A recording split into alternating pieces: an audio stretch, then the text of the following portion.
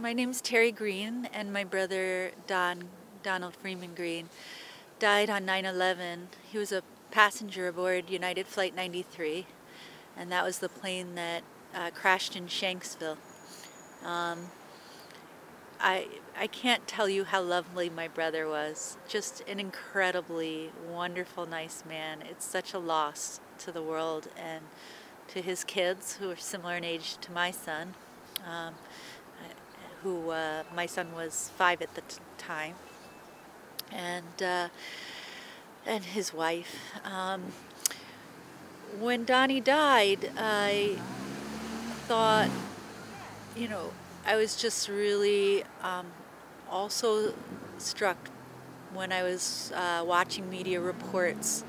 Some of them were pretty horrifying about talking about uh, revenge, we'll get those people, and, and interviewing 9 11 family members and saying, you know, don't worry, we'll get them.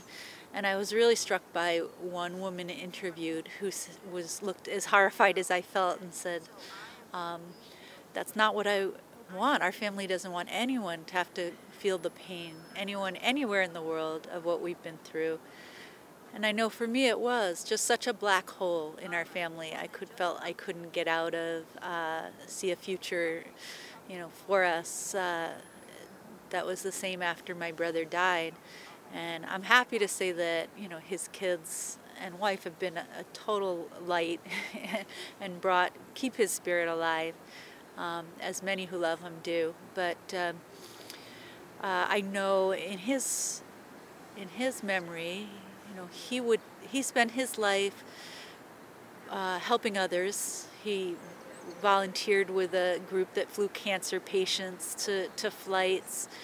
Um, he'd want the world to be better because he was in it. He wouldn't want his legacy to be that the hundreds of thousands who've, who've died in other countries. Um, and I also know, you know, I, I wrote a letter right away asking for compassion in his name.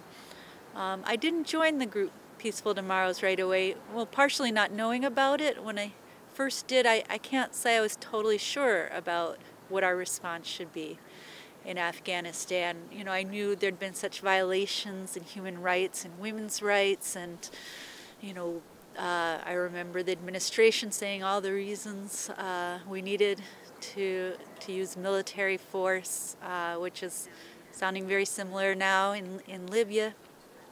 But I, so I wasn't sure. I knew enough to say no, and. Um, uh, that it wasn't their approach. Also, you know, my family, my grandmother's family had died in the Holocaust. I thought about that and the need for response.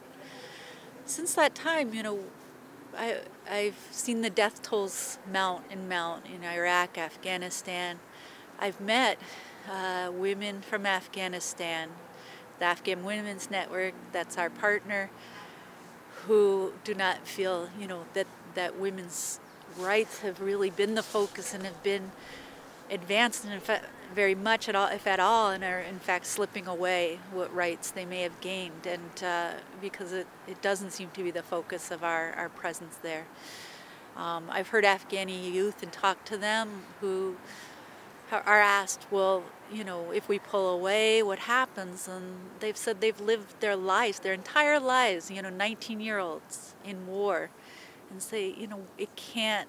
They've you know lost loved ones. Some to the Taliban, some to to uh, to ally strikes, but uh, they can't imagine that this is getting them any closer to peace. They have not seen a better life. And if we just spent a fraction, a small fraction of what we spend on all of this weaponry and devoted it instead to true, you know, development and education and building bridges instead of bombing them, I just think, you know, we we would have many more American lives, many more lives all over the world that uh, we're in a much better place and have security. Quite honestly, you know, my son, as I said, is a similar age to my brother's children, and I feel a responsibility to try to dedicate to getting at root causes and making a safer world and it's not can't be just safer in rhetoric and and in